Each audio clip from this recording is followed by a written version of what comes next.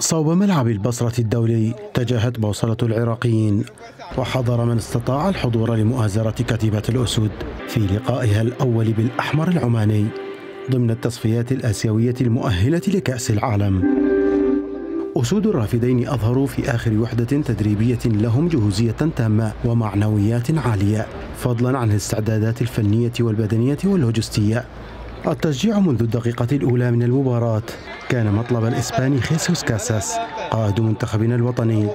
فهو يدرك أن معنويات اللاعبين ستبقى مرتفعة بفضل هتافات المشجعين حتى إن ارتكبوا بعض الأخطاء.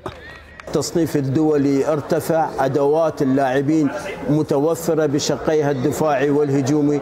لذلك نتمنى أن يكون يوم الخميس هو نقطة الانطلاق نحو المونديال المقبل بتحقيق أول ثلاثة نقاط في هذا المشوار الصعب. قبل انطلاق المباراة. حشود غفيرة توافدت على الملعب الذي يتسع لنحو 65 ألف متفرج ما دفع الاتحاد العراقي لكرة القدم إلى افتتاح البوابات قبل بدء المواجهة بخمس ساعات لضمان الدخول بانسيابية وتلافي الزحامات والتدافع. نعول على جمهورنا وعلى أرضنا وعلى كتيبة كاساس في تحقيق نتيجة إيجابية تليق بسمعتنا كبلد مضيف للمباراة وتكون حافز معنوي لتقديم مباراة جيدة أخرى أمام الكويت. العراق وعمان جمعتهما 27 مباراة في بطولات عربية وقارية تخللتها انتصارات وتعادلات وهزائم. إذ فازت أسود الرافدين بإحدى عشرة مواجهة ومثلها خلصت إلى التعادل. فيما فازت عمان في خمس لقاءات فقط.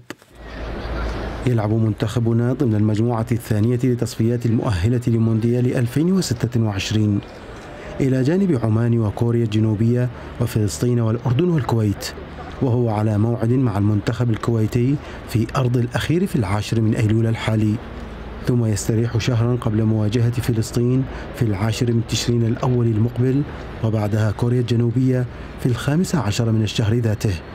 ليختتم مباريات الذهاب أمام الأردن في الرابع عشر من تشرين الثاني المقبل.